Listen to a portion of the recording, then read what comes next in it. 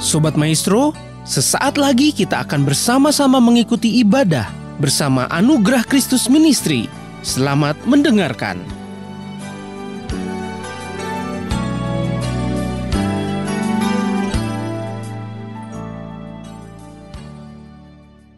Shalom pemirsa Radio Maestro yang sangat dikasihi Tuhan Yesus Kristus di dalam Paskah pada tahun 2020 ini kita dikembalikan kepada hukum yang terutama.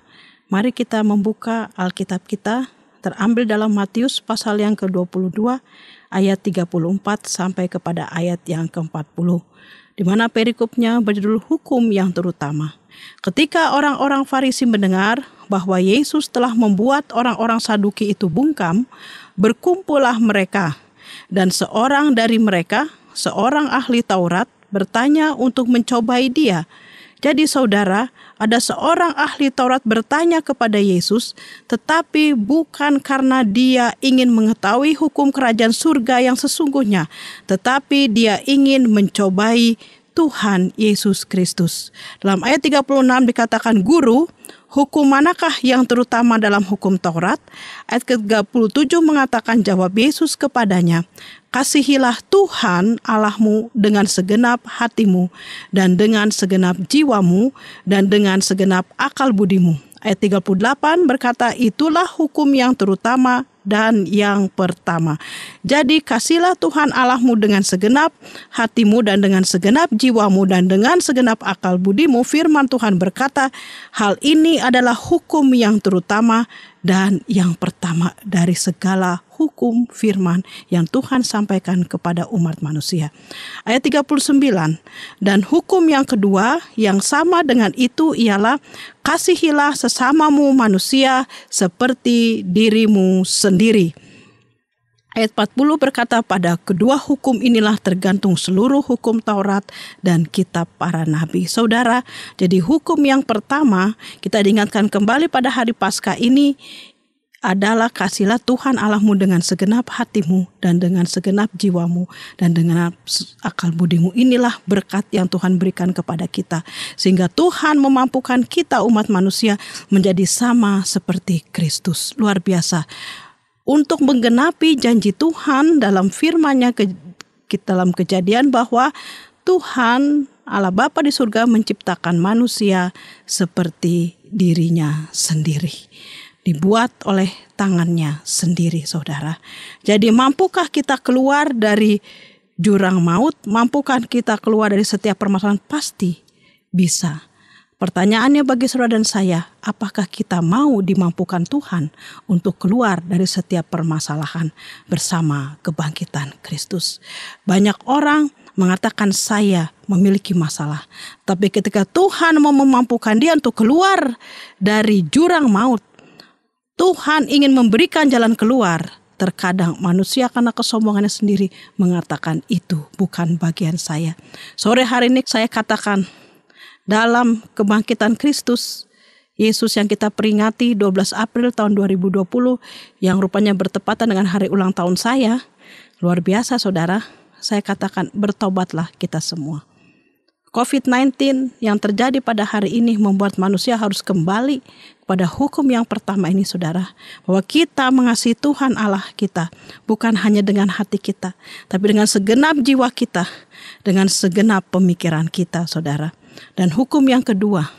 Kalau anak kecil pasti tahu belajar berhitung. Satu, dua, tiga, empat nyusun angka sampai sepuluh.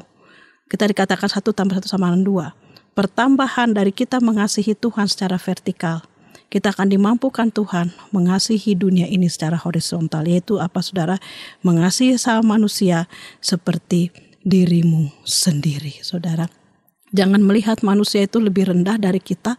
Jangan melihat semua manusia adalah musuh kita. Tapi kita mesti melihat bahwa manusia itu semuanya bergantung kepada Tuhan. Saudara, jadi tidak ada lagi saling memaki, tidak ada saling mencaci, saling membenci, tetapi kita mengasihi sama manusia dan kita rela berkorban bagi pekerjaan Tuhan karena Tuhan sudah lebih dahulu berkorban bagi kita dengan karya penyalipannya. Luar biasa saudara. Secara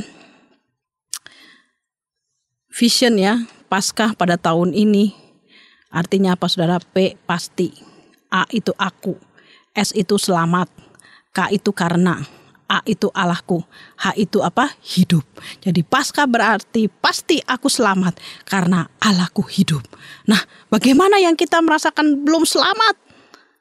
Karena engkau belum menghidupkan pekerjaan Roh Kudus dalam kehidupanmu. Amin. Ya. Oleh sebab itu saudara dalam 1 Korintus 15 ayat 57 berkata, "Tetapi syukur kepada Allah yang telah memberikan kepada kita kemenangan oleh Yesus Kristus Tuhan kita."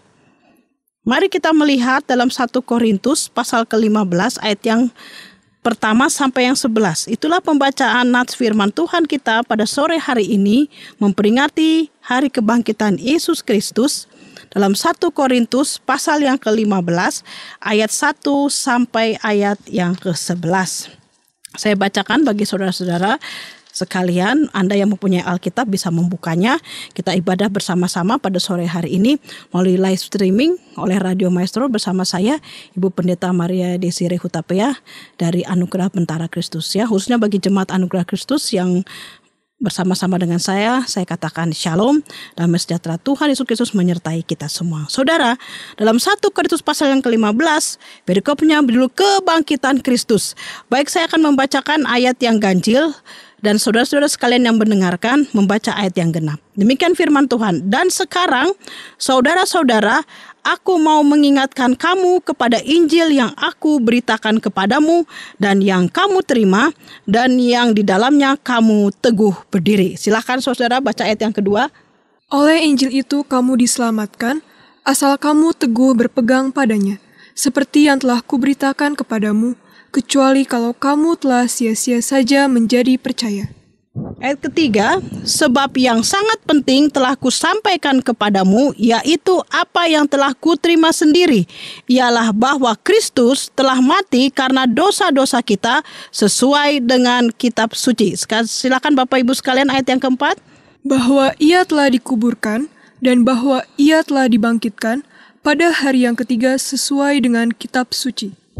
Ayat kelima, bahwa ia telah menampakkan diri kepada Kefas dan kemudian kepada kedua belas muridnya. Ayat yang keenam, silakan saudara-saudara sekalian. Sesudah itu ia menampakkan diri kepada lebih dari 500 saudara sekaligus. Kebanyakan dari mereka masih hidup sampai sekarang, tetapi beberapa di antaranya telah meninggal. Ayat ketujuh, selanjutnya ia menampakkan diri kepada Yakobus, kemudian kepada semua rasul. Ayat ke-8, dan yang paling akhir dari semuanya, ia menampakkan diri juga kepadaku, sama seperti kepada anak yang lahir sebelum waktunya. Ayat 9, karena aku adalah yang paling hina dari semua rasul, bahkan tidak layak disebut rasul, sebab aku telah menganiaya jemaat Allah. Firman ini diberitakan oleh Rasul Paulus. Ayat 10 silakan saudara sekalian. Tetapi karena kasih karunia Allah, aku adalah sebagaimana aku ada sekarang, dan kasih karunia yang dianugerahkannya kepadaku tidak sia-sia. Sebaliknya, aku telah bekerja lebih keras daripada mereka semua, tetapi bukannya aku, melainkan kasih karunia Allah yang menyertai aku. Ayat 11 berkata, sebab itu baik aku maupun mereka, demikianlah kami mengajar dan demikianlah kamu menjadi percaya. Katakan amin saudara. Kebangkitan Kristus membuat semua umat manusia mengalami kasih karunia Allah. Rasul Paulus katakan dalam ayat 9, karena aku adalah yang paling hina dari semua rasul, bahkan tidak layak disebut rasul, sebab aku telah menganiaya jemaat Allah. Tetapi karena kuasa pengampunan Tuhan yang hadir bersama kuasa kebangkitannya kepada Rasul Paulus, maka ayat 10 dia bersaksi, tetapi karena kasih karunia Allah aku adalah sebagaimana aku ada sekarang dan kasih karunia yang dianugerahkannya kepadaku tidak sia-sia. Sebaliknya, aku telah bekerja lebih keras daripada mereka semua, tetapi bukannya aku, melainkan kasih karunia Allah yang menyertai aku. Jadi saudara, ketika Anda hari ini memperingati kebangkitan Kristus dan selanjutnya Anda hidup dalam kebangkitan Kristus, hidup Anda bukan Anda lagi, tetapi Kristus yang telah diam dalam hati Anda. Ketika Kristus telah diam dalam hati Anda, apakah dalam pikiran Anda, dalam perkataan Anda ada mengutuk? Pasti tidak. Ada rasa ingin mencaci maki? Pasti tidak. Ada emosi Ingin menghakimi orang lain? Pasti tidak, saudara. Ingin menggerutu, marah-marah, tapi ada penguasaan diri yang luar biasa. Inilah yang disebut orang-orang yang mengalami kebangkitan Kristus.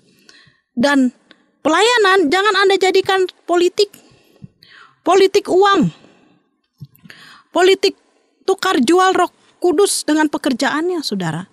Seperti yang dikatakan tadi, kita lihat dalam hukum yang terutama, ada ahli Taurat, tetapi dia bukan bertanya, ingin mencobai. Apakah hal ini berkenan di hadapan Tuhan sekalipun dia seorang ahli Taurat? Pasti tidak. Kenapa saudara?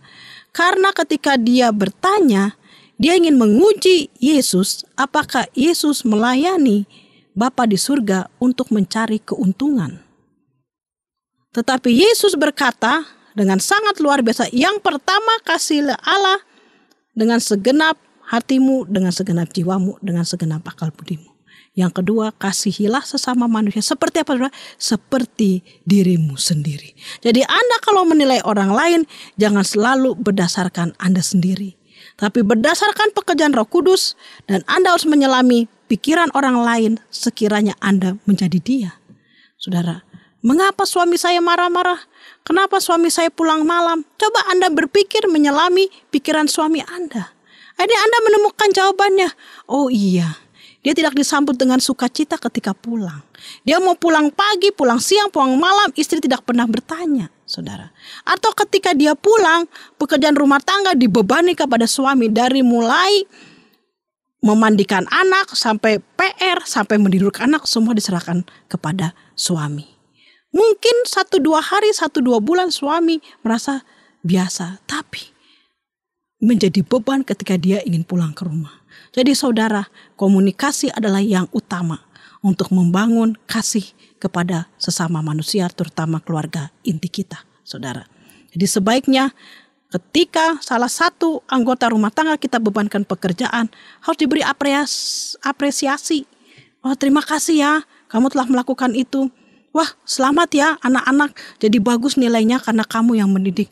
Ya semua manusia butuh dihargai.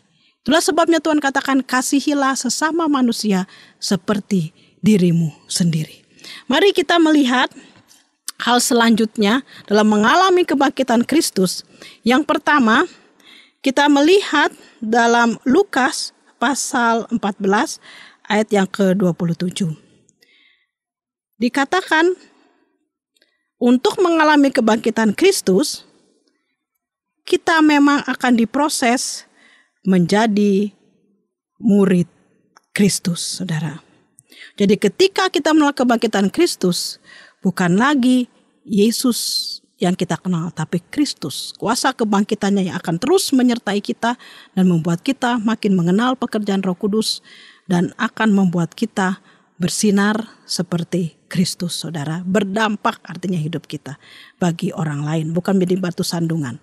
Dalam Lukas 14 ayat 27 dikatakan, Barang siapa tidak memikul salibnya dan mengikut aku, ia tidak dapat menjadi muridku.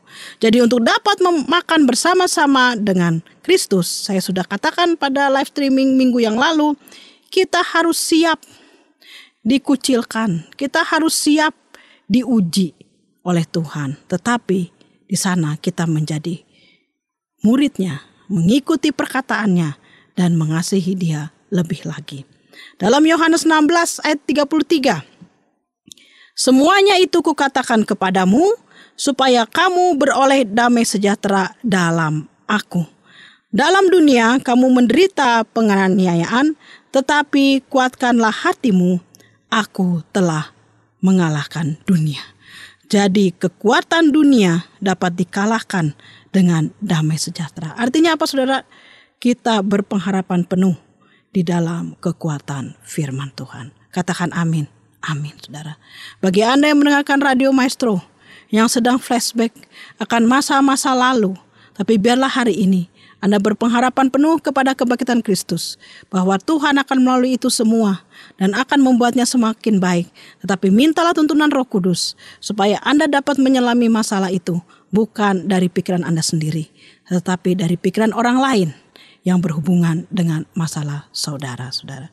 Dalam Yohanes 16 ayat kedua dikatakan lebih dahsyat lagi. untuk menjadi murid Kristus, kamu akan dikucilkan. Bahkan akan datang saatnya bahwa setiap orang yang membunuh kamu akan menyangka bahwa ia berbuat bakti bagi Allah. Jadi bagi Anda yang mengalami karunia-karunia Roh Kudus, setelah kasih karunia Tuhan dilimpahkan atas Anda, bukan berarti proses itu tidak terjadi, Saudara. Anda akan diizinkan difitnah, ingin diambil alih usaha pekerjaan pelayanan, ditipu, Saudara.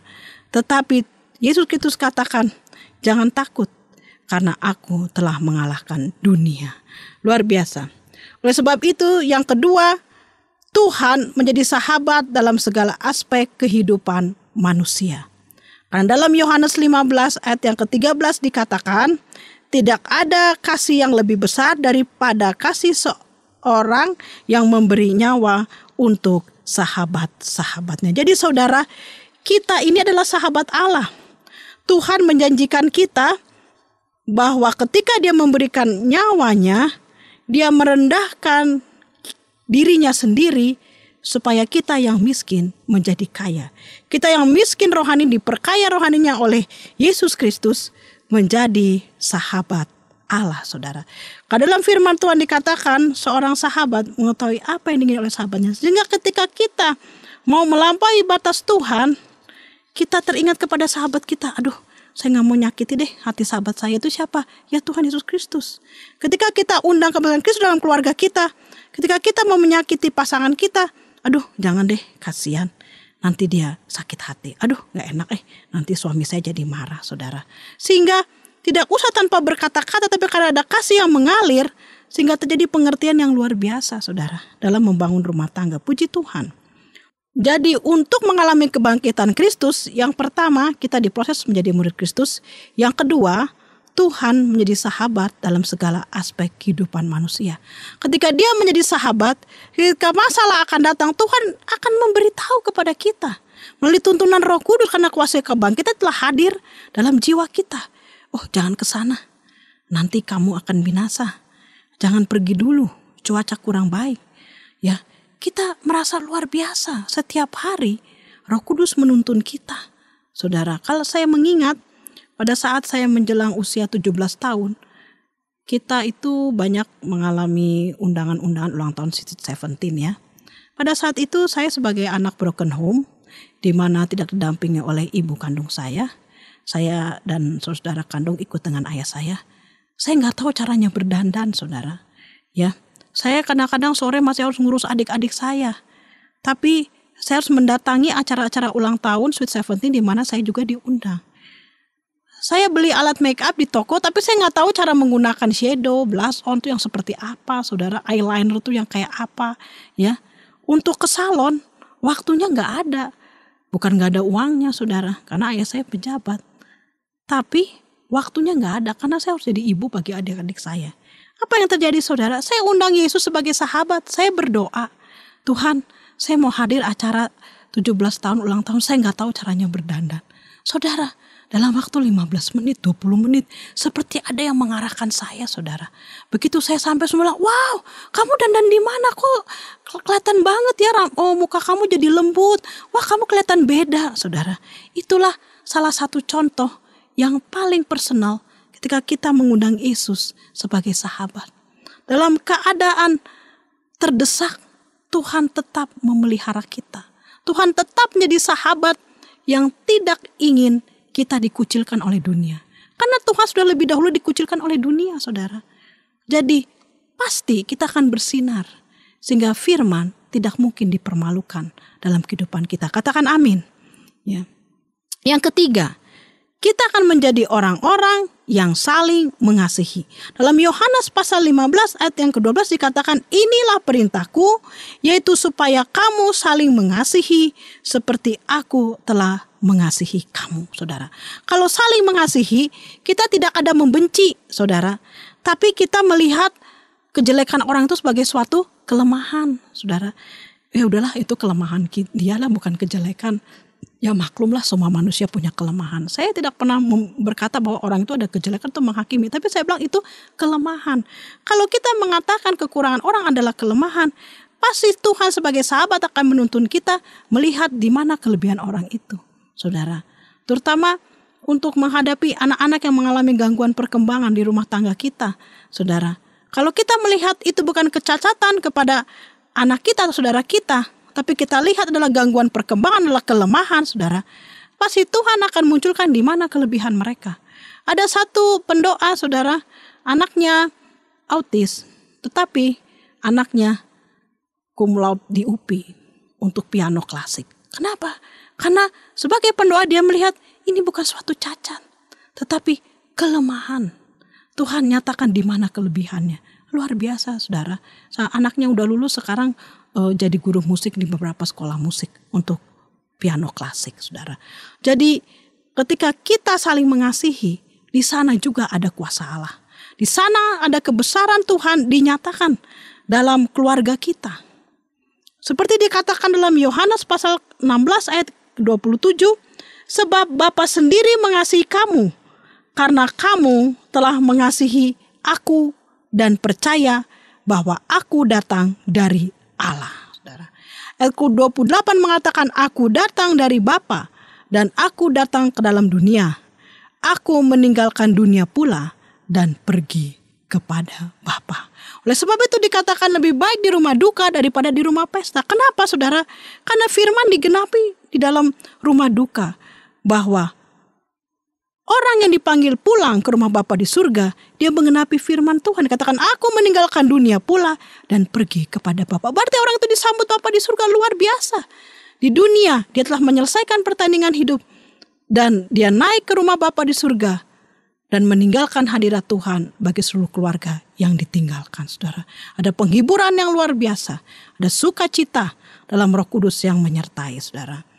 Dan ayat bagian keempat dikatakan dalam Yohanes 15 ayat 10 11 untuk mengalami kebangkitan Kristus, mengalami sukacita dalam kekuatan Roh Kudus. Hari Minggu kemarin telah saya bahas untuk sukacita dalam kekuatan Roh Kudus. Saya ingatkan kembali dalam Yohanes 15 ayat yang ke-10 sampai yang ke-11. Jikalau kamu menuruti perintahku, kamu akan tinggal di dalam kasihku. Seperti aku menuruti perintah Bapakku dan tinggal di dalam kasihnya. Ayat 11 mengatakan, Semuanya itu kukatakan kepadamu supaya sukacitaku ada di dalam kamu dan sukacitamu menjadi penuh. Saudara. Jadi kalau sukacita roh kudus ada dalam kita, sukacita kita itu penuh kata firman Tuhan. Kita tidak mengalami kekeringan rohani. Kita tidak mengalami kesepian, kesendirian. Kita tidak mengalami goncangan emosi. Kita tidak mengalami keporak-porandaan dalam pikiran, keruwetan, tapi kita mengalami kedamaian. Jika pikiran kita damai, jiwa kita segar, kita dengan tuntunan Roh Kudus akan berlapang dada, menemukan jalan keluar dalam setiap persoalan masalah kita. Amin. Puji Tuhan. Mari kita saat teduh sejenak, saya akan berdoa. Bapak yang penuh kasih karunia, terima kasih untuk semua yang mendengarkan siaran Radio Maestro pada sore hari ini bersama Anugerah Kristus Ministry. Lapangkanlah jalan mereka ya Tuhan, supaya mereka tidak mengingat-ingat lagi akan kesalahan-kesalahan masa lampau. Tidak ada kesempatan untuk iblis mengintimidasi, tapi dengan lapang dada, mereka minta pengampunan daripada engkau, ya Bapa yang penuh pengampunan, yang rela mati di kayu salib, supaya apa yang sulit di dunia ini dihidupkan kembali oleh engkau kepada setiap pendengar Radio Maestro dan keluarganya yang menyertai kehidupan mereka. Amin. Jadi saudara, untuk menjadi murid Kristus, ada empat hal.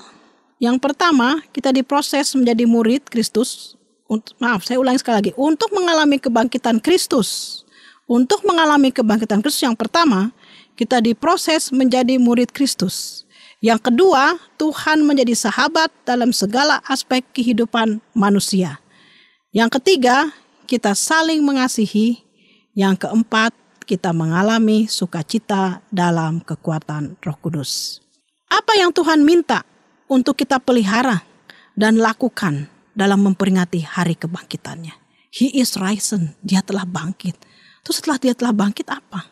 Ya, kita bela, waduh harus menang periode kedua presiden kita Jokowi ya siapa pun wakil presidennya ketika dia menang terus orang akan menilai apa yang harus dilakukan oleh presiden di periode selanjutnya dia menang apa yang akan dia bangun Begitu juga hari ini kita memperingati hari kebangkitannya di tahun 2020 ini.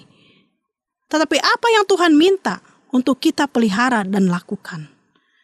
Dalam Yohanes 16 ayat ke-28 saya bacakan, Aku datang dari Bapa dan aku datang ke dalam dunia. Aku meninggalkan dunia pula dan pergi kepada Bapa. Artinya apa saudara? Jangan tinggalkan damai sejahtera itu. Karena damai sejahtera telah ditinggalkan bagi kita. Roh Kudus telah dipercayakan untuk hidup dalam kehidupan orang percaya yang akan terus menumbuhkan iman percaya kepada Kristus dan diberkati dalam perlindungan Tuhan. Kita akan mengundang terus pekerjaan Roh Kudus hadir dalam setiap kelemahan kita. Tuhan minta kita mengundang terus pekerjaan Roh Kudus hadir untuk menuntun kita setiap hari. Jadi suatu kewajiban bagi orang percaya untuk setiap pagi memuji-muji Tuhan, saudara.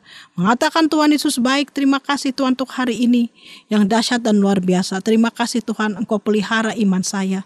Terima kasih ya Tuhan Engkau pelihara pernikahan saya. Terima kasih Tuhan Engkau memampukan kami untuk membesarkan anak kami. Dan luar biasa saudara, setiap hari Engkau berdoa seperti itu.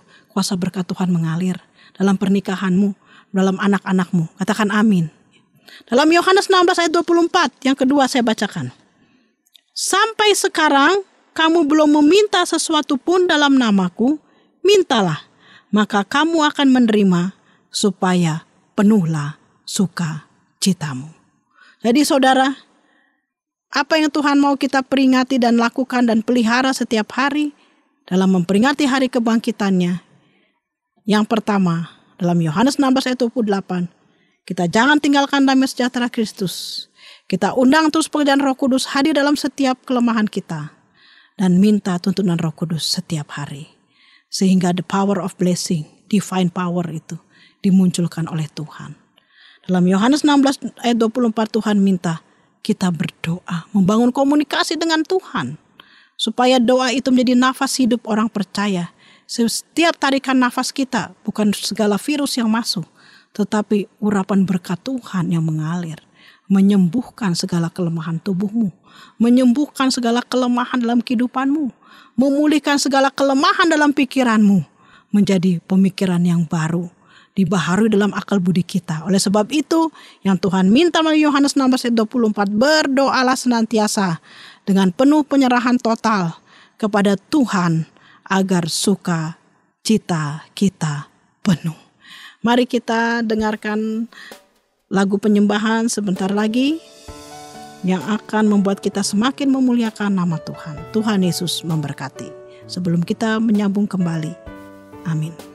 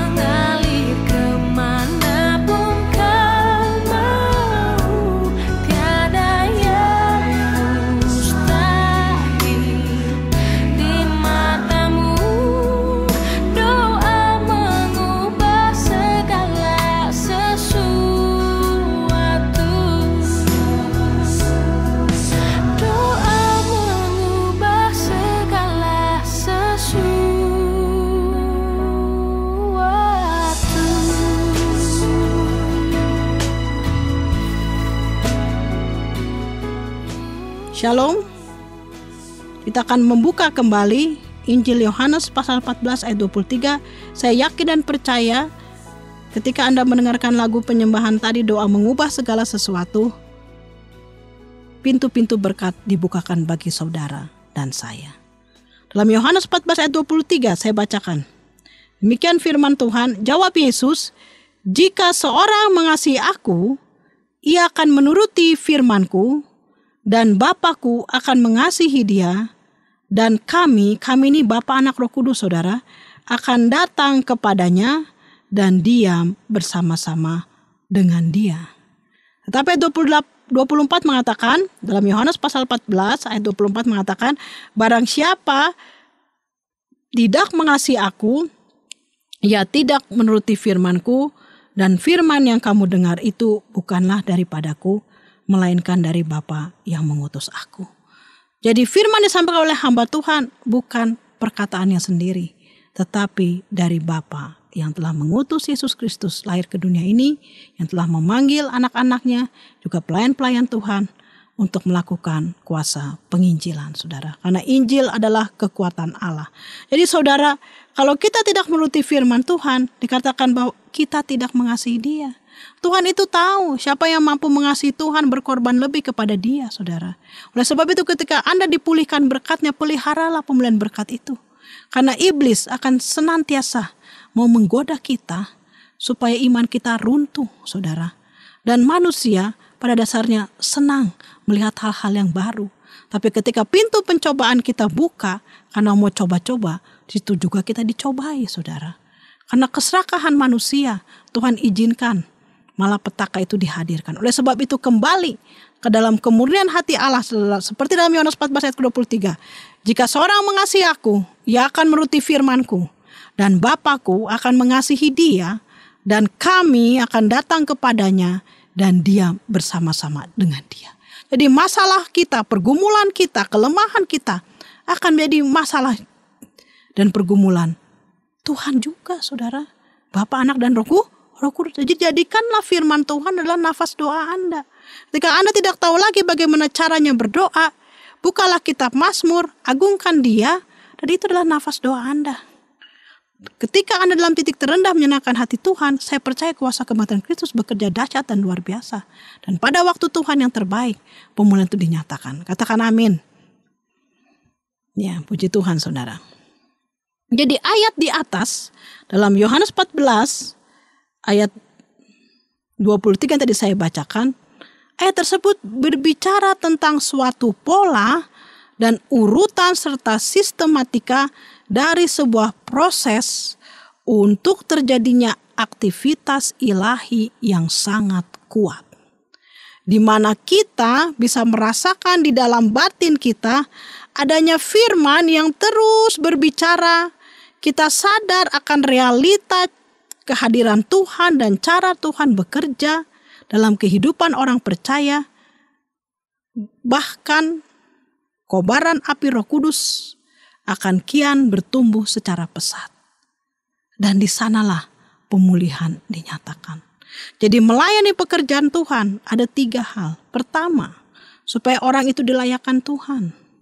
Dan kedua, supaya dosa orang itu diampuni.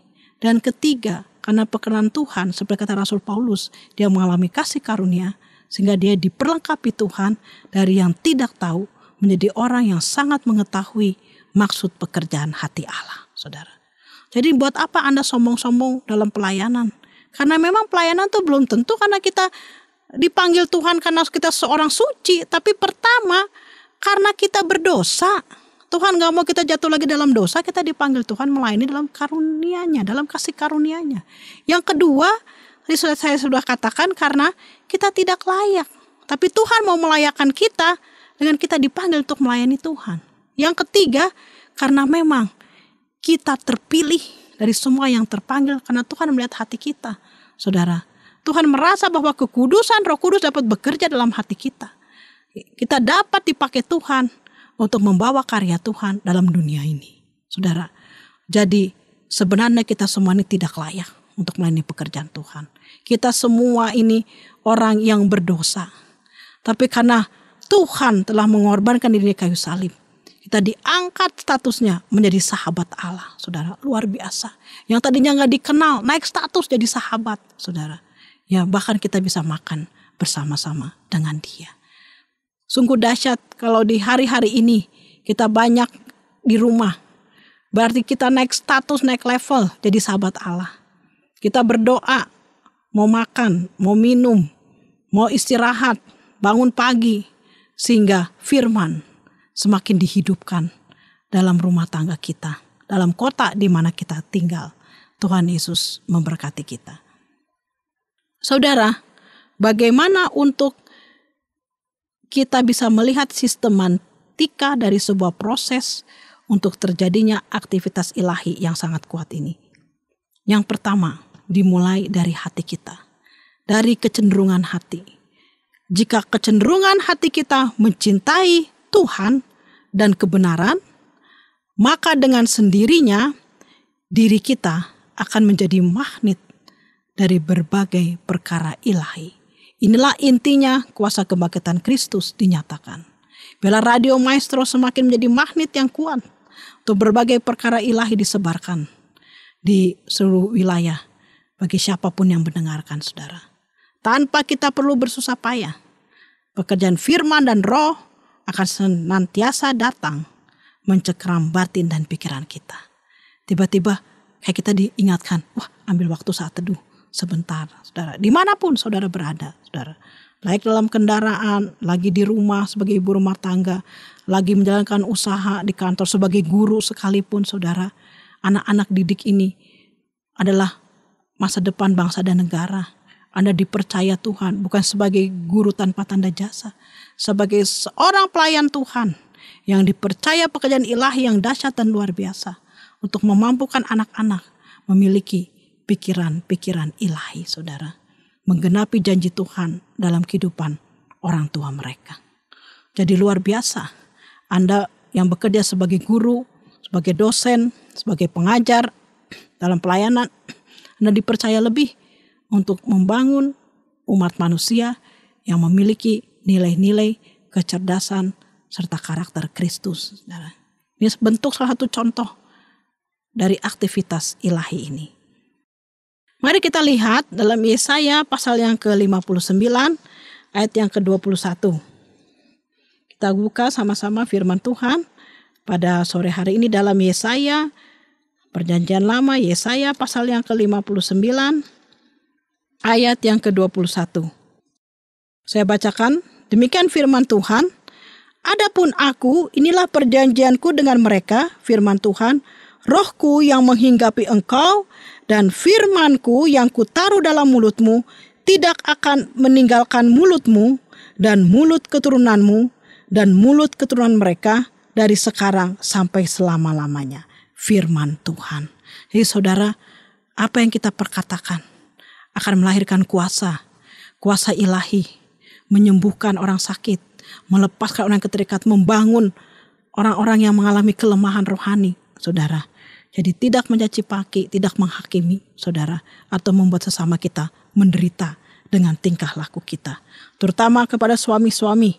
Bukan karena saya perempuan, tapi firman Tuhan katakan, Hai suami, hormatilah istrimu. Jika istri merasa dihargai oleh suaminya, karena gaji, suaminya dia tahu berapa, diserahkan kepada istrinya untuk dikelola bersama, saudara. Karena istri adalah pengelola berkat yang dipercaya Tuhan, pewaris kasih karunia, saudara. Maka hatinya akan berbih, berbahagia dengan penuh pengucapan syukur dia mendoakan suami dan anak-anaknya. Dan berkat rumah tangga akan dipelihara terus. Karena hari-hari ini mulai aneh pernikahan, saudara. Saya dapat kesaksian banyak um, orang tua orang tua mencerita, aduh ribut rumah tangga karena keuangan tidak saling terbuka. Uh, istri nggak tahu penghasilan suami berapa, ya tahu-tahu suami juga nggak tahu istri pinjam uang sana sini akhirnya berantakan jadi meninggalkan hutang saudara. Hari ini saya katakan bertobat. Karena ini realita dalam kehidupan masyarakat. Anak-anak Tuhan terutama dimulai dari keluarga supaya pekerjaan iblis kutuk-kutuk utang piutang dikalahkan. Dan kuasa berkat Tuhan menyertai rumah tangga setiap pendengar-pendengar radio maestro yang setia. Juga bagi jemaat-jemaat Tuhan. Saudara, mari kita buka firman Tuhan dalam Lukas 6 ayat 46 sampai 49 saya bacakan. Dua macam dasar. Perikopnya berjudul, Mengapa kamu berseru kepadaku Tuhan, Tuhan, padahal kamu tidak melakukan apa yang kukatakan? Setiap orang yang datang kepadaku dan mendengarkan perkataanku serta melakukannya, aku akan menyatakan kepadamu dengan siapa ia dapat disamakan. Ia sama dengan seorang yang mendirikan rumah, Orang itu menggali dalam-dalam dan meletakkan dasarnya di atas batu. Ketika datang air bah dan banjir melanda rumah itu, rumah itu tidak dapat digoyahkan karena rumah itu kokoh dibangun. Akan tetapi barang siapa mendengar perkataanku, tetapi tidak melakukannya, ia sama dengan seorang yang mendirikan rumah di atas tanah tanpa dasar. Ketika banjir melandanya, rumah itu segera rubuh dan hebatlah kerusakannya. Kita sudah sering mendengarkan firman ini, tapi sore hari ini kita digali kembali. Kenapa kita berseru kepada Tuhan? Sepertinya Tuhan tidak mendengarkan. Seperti Tuhan menjauh. Karena engkau telah tidak menjadikan Tuhan sahabat dalam kehidupanmu. Karena engkau mendirikan rumahmu. Mendirikan kehidupanmu. Bukan didasarkan batu yang teguh. Tapi di atas tanah tanpa dasar saudara. Jadi mulailah dalam ulangan 31 ayat 8. Mulai segala pekerjaan bersama dengan Tuhan. Dan minta Tuhan mendahului, memberi perkenanan. Maka semuanya menjadi karya Tuhan yang begitu indah dalam kehidupan saudara dan saya, saudara. Oleh sebab itu, saudara, saat kita beroleh firman dan menjadi pelaku firmannya tiap hari, maka secara otomatis kemuliaan Tuhan akan tercurah atas kehidupan kita dan aktivitas ilahi akan semakin kuat dalam diri kita. Orang akan mengenali kita sebagai representasi firman Tuhan. Yang berarti apa saudara? Orang akan mengenali kita sebagai representasi firman Tuhan. Yang berarti sebagaimana Kristus menjadi nyata dalam firman Tuhan kita, begitu pun akan terjadi atas diri kita. Firman yang kita baca, kita yakin itu akan hidup sehingga apa yang tepat bumi tepat di surga.